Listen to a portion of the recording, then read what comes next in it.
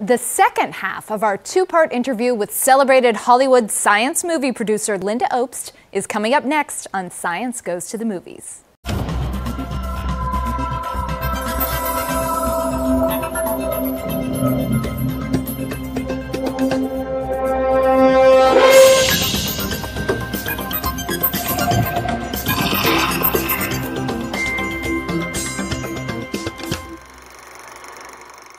I'm Faith Salie, and welcome to Science Goes to the Movies. We're back with the second half of an amazing interview with Hollywood legend Lynda Obst, producer of Interstellar, Sleepless in Seattle, and Contact, to name a few. In our last episode, Obst was telling us about the development hell she went through creating Interstellar. And as we ran out of time, she had just lost Steven Spielberg as her director. And now we're back with the rest of the story on Science Goes to the Movies. So I lost Steven, and then I got a call from Chris Nolan's agent, who is the only director who could have replaced Steven. Mm. And he said, Chris likes this movie, he's going to do it, which was quite wonderful. But he had two movie, one movie to finish. He was in the middle of one movie, and he had, he was in the middle of Batman, and he had The Dark Knight Rising to do after. But then he would do it. So on the one hand, it was a go picture with a great director that thrilled the studio. And on the other hand, that was three more years. Mm-hmm. So he, we had. Gosh, it's like the plot of Interstellar. Time like expands. time expands and, and contracts, right? And you just want to make sure your actors don't age, right? Exactly. Right. Faith, you're fabulous. That's exactly right. So send them out. So send them out to the wormhole so they stay looking. Yeah. To develop this, yeah. right? To to get it ready. Then we had the five years with Steven and then we had the three that we had to wait for Chris. Ah. so on the one hand, it was in better shape. Do you see what I'm yes. saying? During the period of development hell, we were always with a great captain. Yeah. But we had to wait. It was just, it was hurry up and wait.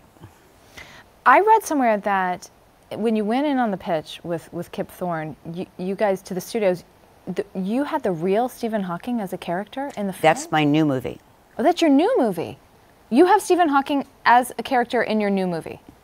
And a producing partner. Is Stephen Hawking going to play himself in your new movie? No. Did he audition to play himself and didn't get the part? what happened? You're a tough cookie. There's a great item. I want to see that on page six. So, so Stephen Hawking auditions to play himself and didn't get the part, and he's a producer, so he rejected himself. so he's a producer on this with you. Yes, he um, and he and uh, Kip are executive producers of the movie. Are That's our new one, but we haven't him. really announced it yet. You've met him. You, oh, he's a dear friend. What is a meeting with Stephen Hawking like? Well, needless to say, I met him through Kip many years ago um, when he uh, could still speak. Um, and uh, my first meeting with him, we all went to Palomar for a picnic, and it was quite wonderful. I'll tell you one that that's a phenomenal story. Although it's hard to tell you how, to explain how long ago this was, but um, so you know how long ago Kip and I met. It was about 79 or something. Wow. Well, around Cosmos, right? When Cosmos right. came out. So it was around then. Kip and, in, introduced me to Stephen. We all went up to Palomar. And I was meeting Stephen. I was really excited. And I was trying to think of a question to ask him. Sure, right. And it sort of reminded me of this time my mother had told me about when she got to meet Bertrand Russell. And the whole time she was trying to think of, like, should she call him Dr. Russell? Should she call him Professor Russell? Should she call him Lord Russell? And the whole time I was thinking, oh, this is just like with my mother. I have to think of a question to not seem completely stupid. And just as I was trying to think of a question, he asked me, 1979, what do What's I your sign? what do I think of piracy? As, is it a problem? And I said, that's not a problem. Hmm. I don't see any problem with piracy. Piracy of what? Piracy of movies? No. I mean, that's what he was asking about. Right. I, I don't see that as a problem. Right. And that's how much of the long chess game. Prescient, yeah. That's how prescient Stephen Hawking was in 1980, I guess it was. And I think of that all the time because years later, Peter Chernin said to me that piracy was going to destroy our business. Hmm. And it was 15 years after Stephen Hawking asked me about it. And I keep thinking he must have thought I was the biggest idiot who ever lived. But there were just no signs of it. I mean, they were just beginning to use the internet. So, um, and then I gave him over the years screenings, you know, whenever he came to town because it was so difficult to go to Yeah. the movies. So we would get a little screening room and, and at my brother's agency, we would show whatever movie he wanted to see with whatever friends he wanted to, to meet. What do you know about gravity now that you didn't know before you began working on Interstellar? Well, that it creates warped spaces, and warped spaces are the most interesting places in the universe Why? Because that's where anomalies occur, because that's where things are weird, because that's, yeah, because that's where um, gravity exerts its greatest force, and gravity is the most powerful. And uh, in warped spaces, in extremely warped spaces, we see the most um, um, bizarre um, and interesting things in the universe. That's where gravitational waves will be coming from. That's where things like uh, black holes colliding can create huge effects in the, in the cosmos. Um, that's where dimensions can be warped inside one another. Um, so uh, the warped passages of the universe uh, in the cosmos are the most exotic places um, in the universe. The flatter the universe, the, the more expected, the more you can predict, Predict, exactly yeah. what you're going to find. You, um, you were a philosophy major, and, and Kip Thorne is an astrophysicist. Do you find that there are a lot of concepts and language uh, that overlap from those two disciplines? Yes, well, I find that metaphysics is physics, right? The meta, um, the way that um, the mind body problem is now in neurology, right? Almost 100%. Metaphysics is in quantum mechanics, right? Uh, what sorts of things are there? is uh, ontology. It's one of the most important questions in philosophy. Well, that's what we're doing at CERN. You know, at CERN, we're asking what sorts of things are there in the world? What are the constituent fundamental aspects, elements of nature? And then what are they made of? And then what are they made of? And then what are they made of? Is there anything more fundamental uh, than a muon? Is a muon made of something? Is a scion made of something? And that's that used to be ontology, and now it's particle yeah, it used to be all up here That's in our right. heads, and now it's all And how do things work? What what is is we used to say is was there an ether, right? And now we're trying to find out what fields are, right? What what composes the uh, the the the element we live in, that we function in, the uh, the very space that we uh, uh, not just we, but that all the elements that compose us uh, function inside of. The whole nature of fields is probably, you know, made of strings. Um, here's- maybe. Here's what strikes me as um, beautiful and fitting that you think about these things, know the people who work on these things, and produce stories. It's when I saw Interstellar, it was so, in some ways, disturbing, so moving, so beautiful, so gutting, because you're asking these fundamental questions, right? About like, what are we made of, and what's below that, and why are we here? But those are also like the poetic questions we ask about love and being human. And so, in telling a story where you all were assiduous in staying true to the science, you were also you were also exploring the most hu- like fundamental human questions. Why do we love? For how long do we love? Whom do we love? Who are we and who do we grow to be? And it's amazing that you can tell those stories at the same time. Well, I think it's, uh, first of all, that's a testament to Chris. Okay? Um, obviously, I always want to tell very human stories because film is a very emotional medium. And it's incredibly hard to put one idea in a movie. So the uh, father daughter story uh, is very much Chris's um, overlay, and uh, that's very much his in his heart.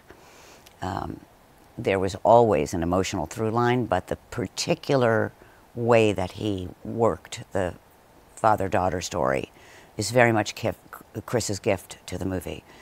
Um, but I think that there's way too often an assumption that if something is scientific, it's cold. Yeah.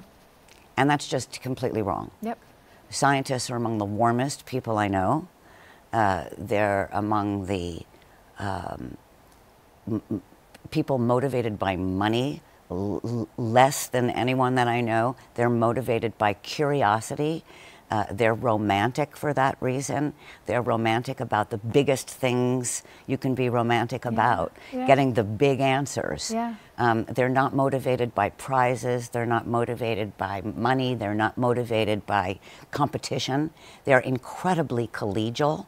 When Kip was working on LIGO, there was the possibility that another competing group had solved gravitational waves first, and he was thrilled and brought me to the lecture where those people were uh, explaining their findings. Wow. Uh, it's the most collegial, supportive community because together they're in search of the truth. How emotional is that? Right. There's an element of humility there. Of Because absolute everybody's humility. asking the same questions. That's exactly right. And so I find them um, humbling and humble. And those are qualities that uh, allow for love and uh, thrive in personal relations. That's also uh, to I'd like to add. Um, movie I'm most proud of uh, being able to make coming soon is about the love story between Carl Sagan and Ann Druyan. Um, probably the greatest love story I was ever witness to, and he's among the most famous scientists we've ever had. So uh, when it comes to love and science, these two took took the prize. In Hello, He Lied, you, you talk about how you love the sociology of the business. And, and you often explain the movie industry in terms of alpha male behavior as if you're kind of some kind of like, you know, Margaret Mead in Hollywood or, or, or Jane Goodall or Dian Fossey, you know, looking at the hairy chest pounding studio heads. Um, so, kind of putting on your pith helmet and, and binoculars, can you explain the lay of the land in Hollywood? Is it as much alpha male as ever? We still have our behemoths. Um, we still have some pretty powerful alpha men out there, but the behavior that made them um, Trumpish uh, when they were uh, has definitely diminished because I think Hollywood changes faster than most places. Um, Really? Well, Oscar So White turned in a year.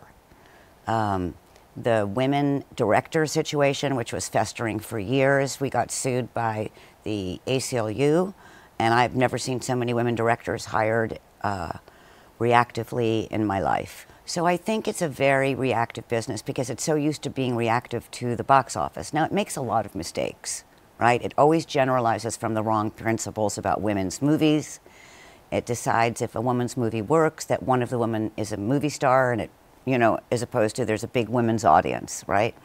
Um, and you know, there are still a couple of very powerful men that get away with very abusive behavior.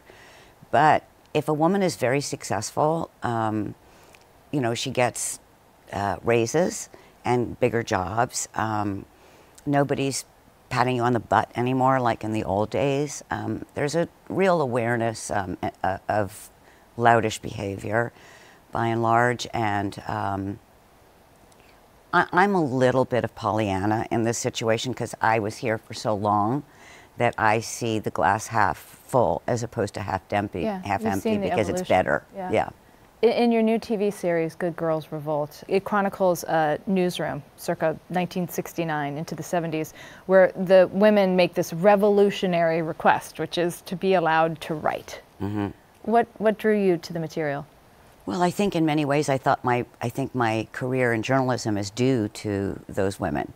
um, they, uh, the, the women that sued for equal equality in the newsroom at Newsweek then inspired the suit at the Times, and I got to the Times right after the suit. And if it weren't for those women who were sidelined as a result of their winning suit, I would not have had the career I had at the Times, where they were so nice to me. Mm. And uh, when I read the material, I realized oh, that's why those women were so unhappy.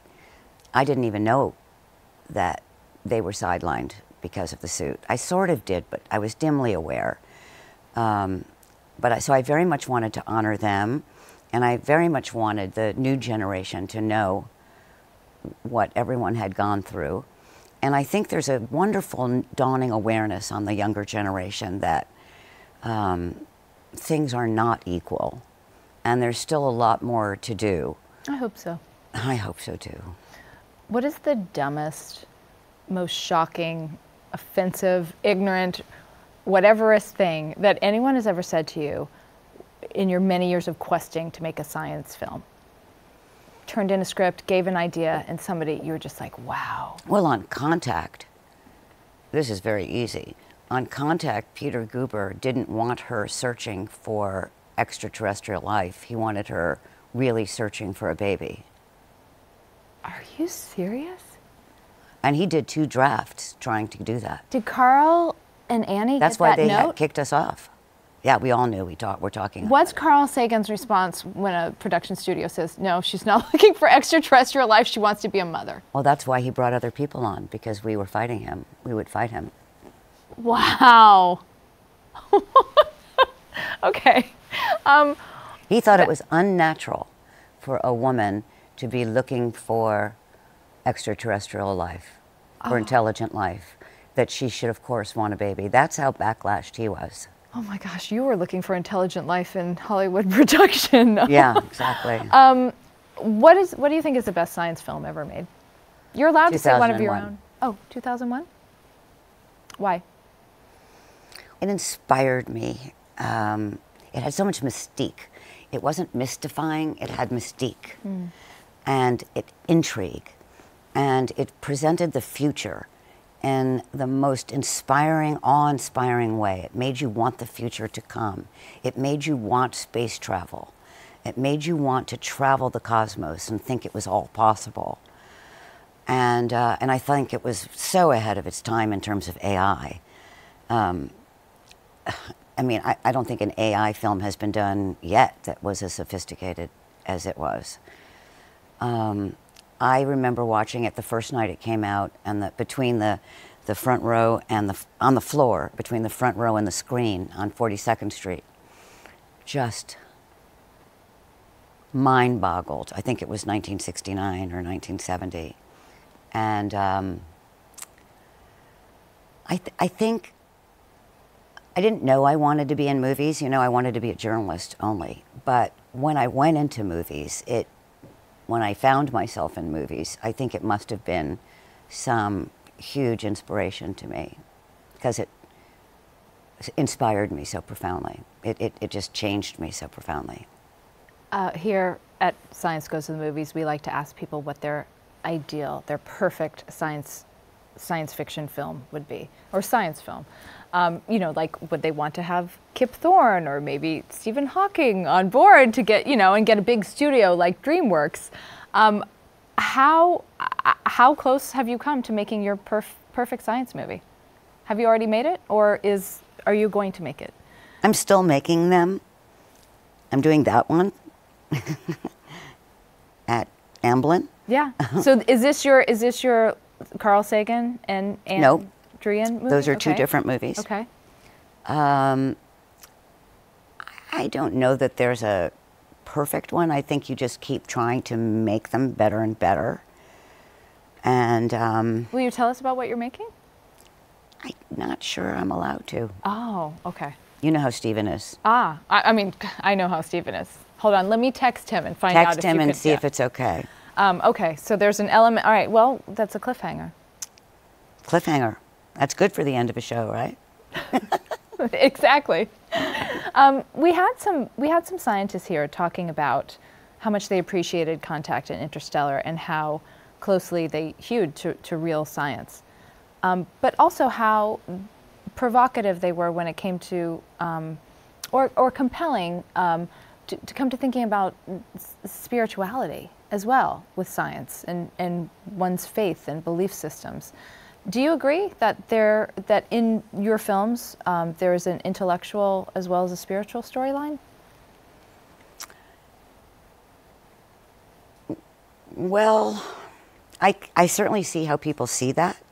Um, Carl would have said about contact that he purposely wanted to juxtapose uh, Joss's point of view with Ellie's point of view because he loves that dialectic.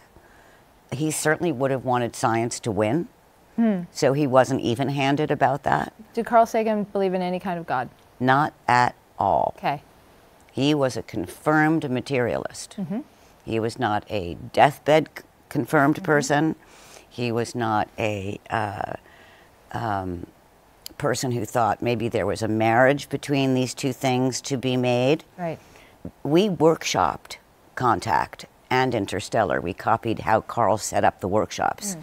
where we brought in the best scientists in each area, and then uh, for two weeks um, met with each scientist and each expert in the field, and then had um, it all transcribed. And the screenwriter, Annie, Carl, and myself, and George Miller, who was then the director, would listen and debate and just get completely full of all of the facts of the matter. And we had theologians come in to be able to write Joss well. Carl knew more theology, more of the New Testament and the Old Testament than any of the theologians we brought in for the workshop. He was an, an autodidact and a, and a studier, the, uh, the likes of which I have never seen. Maybe Steven Weinberg was on the same scale. But he was brilliant about religion. Once he debated Marianne Williamson at my house, and she was done with and done for, flat on the ground. Really? Flat on the ground. And, and she admitted it? She was like, I'm out? It, it, it, wasn't a question of admitting, it was a question of picking her up off the floor and carrying oh, her out of the house. Or Marianne Williams. I mean, Carl was the most educated, well educated, and well argued person I'd ever met. He could debate anybody on anything. He had so much more information at his disposal than anyone I'd ever met, I've ever met. So he, he was brilliant about this. And he wanted Joss to be brilliant. He felt mm. the better the argument on the other side, like Dostoevsky, like Brothers Karamazov, yes. the better the argument on the other side, the better the scientific argument could beat it. Yeah. So he didn't want to beat a bad argument. Yeah. He wanted to beat a great argument. He wanted the best possible argument for God and then to beat it. And then he would always say, Your God is so small if it can't accept science this big. Mm. That was his favorite argument. Do you know? Um, now, Interstellar is slightly different because uh, Chris did the last rewrite, right? And because I think the, and some people have really interpreted Interstellar, which I learned afterwards, as a Christian parable. That was not your intent, I take it. That was not our intent, but I've come to see how some churches interpret the re, uh, his um, his coming back as mm. a rebirth, yeah. as a Christian rebirth. Yeah. And I and it was explained to me, and I was like, "Well, smack my knee," you know. Um, I'm a Saganite, so you can Confirmed. trust that I did not see that. Yeah. I'm not. Sh- I don't think that Chris saw that. I know in working out the field theory stuff at the end with Kip, Kip didn't see that because Kip is as much as a secularist as Carl was. But I think what happens is that when you broach these ultimate subjects, A, there's a tremendous amount of projection on these images. And B, there's a tremendous amount of profundity that just comes with the territory. Yeah. And living inside that profundity is thousands of years of sort of matching spiritual analogy. Do you know the Hindus came up with the bouncing universe? And they were right. It might be a bouncing universe.